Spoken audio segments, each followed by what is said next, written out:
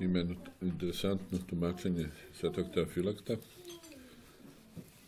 o božićnim evanđeljima. Kaže a, da se da je presta Bogorodica našla se da ona zatrudnila pre nego što se sastala sa, sa Josifom. I ona kaže i to duha sve, i kaže i nađe se da, da je začela od duha svetog.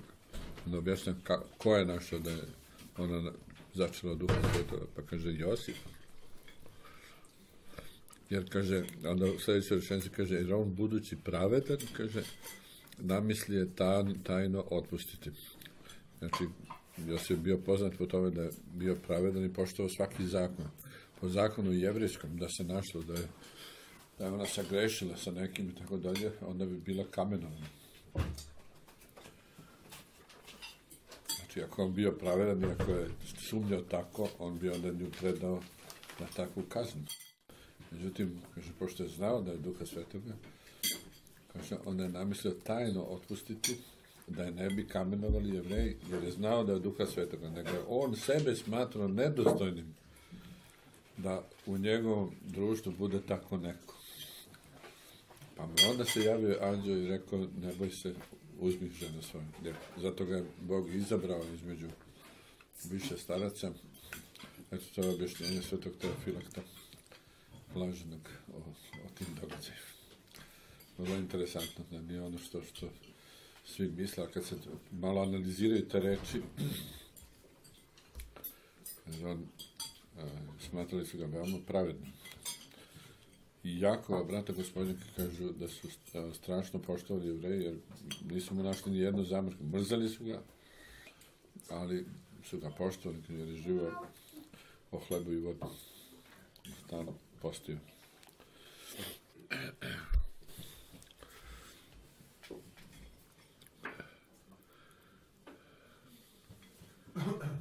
I tako je gospod zvezdarima preko zvezde označio put, ali to nije bila zvezda. Zato što kad pogledamo zvezde, kad gledamo u Severniču, možemo koliko god hoćemo, ona je na istom mestu. Međutim, zvezda koja je znači, pokazivala put, to je vjerojatno bio neki anđeo koji se spustao, spustio u blizinu zemlje i onda je išao pred njima i pokazao im put da dođu na to mesto. Kad su oni došli, znači, oni, oni su već došli kad je gospod rođen i posle toga su došli u kuću, nisu došli u pećinu.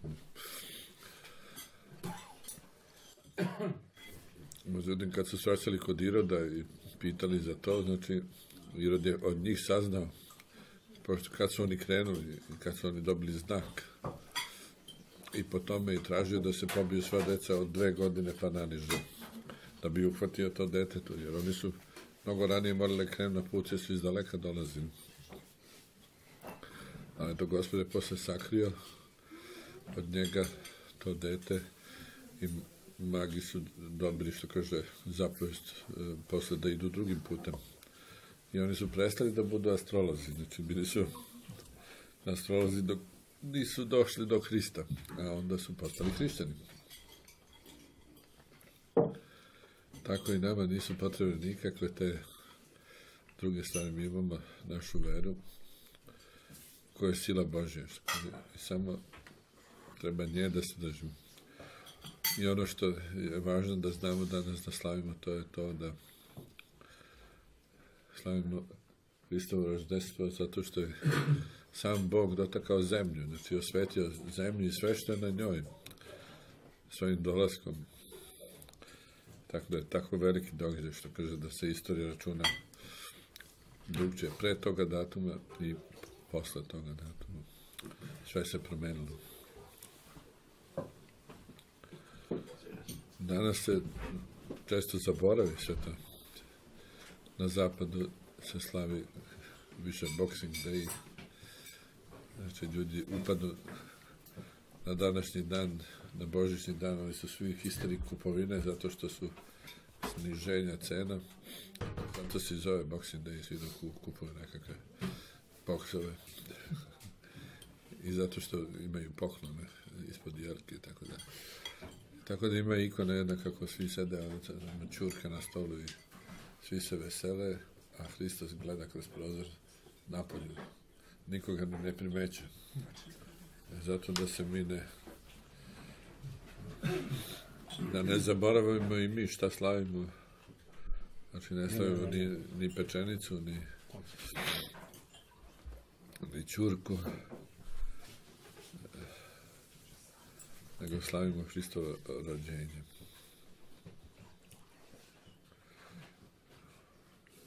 Tako veliki događaj.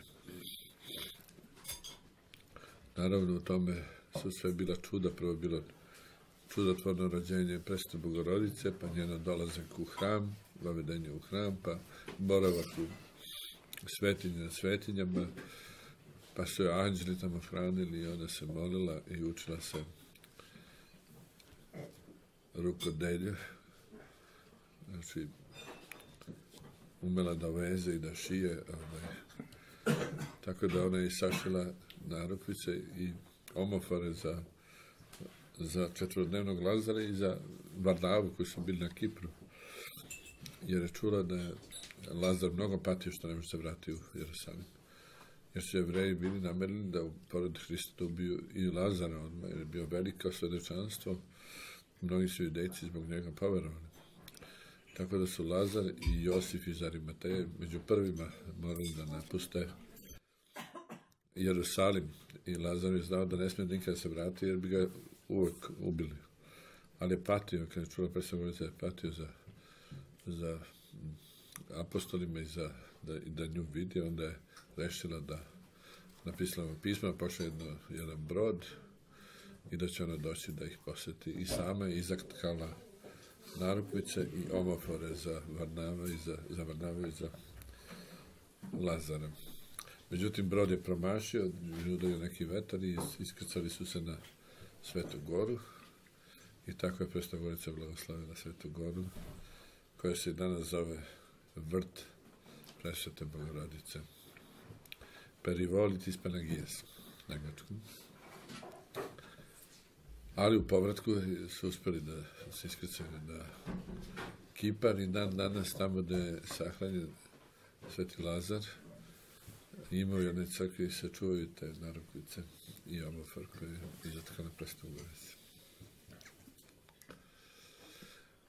I zato se pitao Zaharija da li je to obećanje Izraelju, jer je često vidio kako i slušao kako anđeli dolaze i kako je hrane, jer ona je stalno boravila u molitvi i ručnom radu. To je bilo njeno. Zato gospod izabrao jedan čist, čist sasum. Znači, mi smo dali presvetu Bogorodicu, kako kaže kondak danas. Zemlja je dala pećinu, a iz roda ljudskog je rođena jedna devojčica koja je tako bila čista da je gospod mogao da se ovaploti u njoj.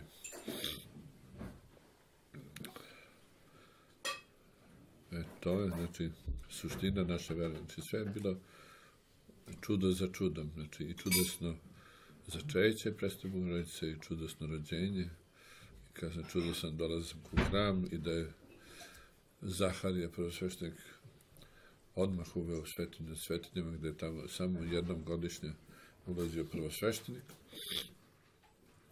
Znači, nošen duhom svetim, on je tako učinio. I ona je tu najčešće boravila toku svog rasta.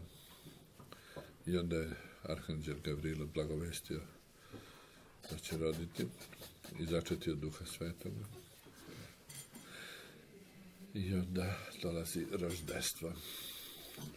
E, posle dolazi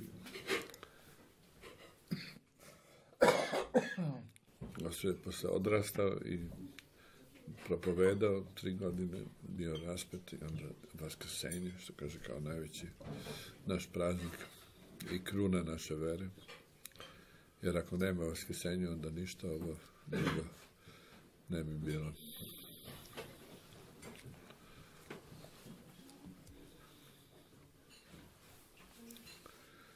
Zato se i posti, što kaže, pred velike praznike, da se očistimo ali najvažniji bi bio taj duhovni deo posta, da se očistimo srce naše, pa da se stvarno bogomladac i u nama rađa.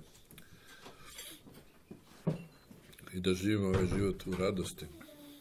Koliko god bilo tegoba oko nas i svega. Ako imamo gospoda, onda smo stalno u radosti. Ako nemamo, onda što kaže, onda je život nikakav.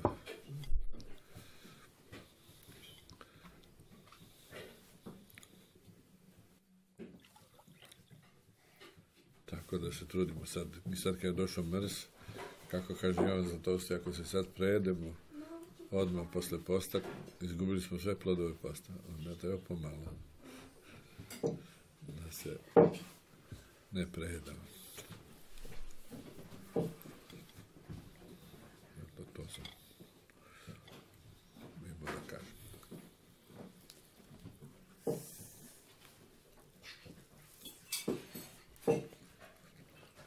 E, koliko ima dece ovdje? Samo jedno. A ti, ja, a jesi ti dete? A jesi ti dete? Želio je otišao. A, u, U WC. e pa da sačekamo onda. Da dođe pa da podavimo paketiće. Ja mislim da sam ja zakasnio. Nisam. E, ovo je za tebe. Nisi zakasnio, ti si tačno na vreme. Da. Ti plašio da nije za kasnije. za paket.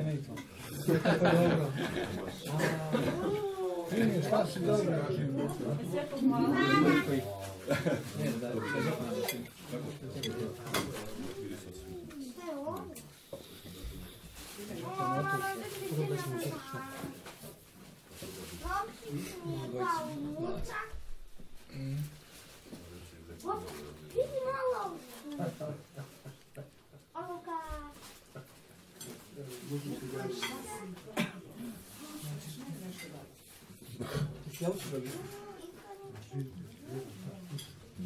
li ima neki raptor. Kako se-